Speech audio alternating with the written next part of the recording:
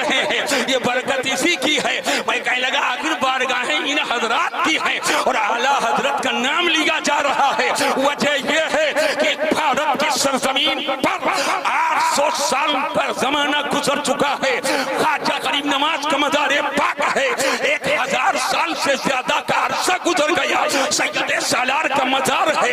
सैकड़ों साल गुजरे, मखदूमे की छौछा का मजार है। सैकड़ों साल गुजरे, साहिबुल बरकत का मजार है लेकिन बरेली शरीफ में आला हज़रत के खानवादे में न चादर, न कागर, न कोई कुप्पा लेकिन जब हमला वलियों की अजमत पे हुआ है, सहाबा की अजमत पर हुआ है, अहले बैत की अजमत पर हुआ है, नबी के अजमतों पर हुआ है, शान के खिलाफ जब भक्तियाँ कसी गई तो जो तलवार बकफ होकर मैदान में निकला था, और जिसने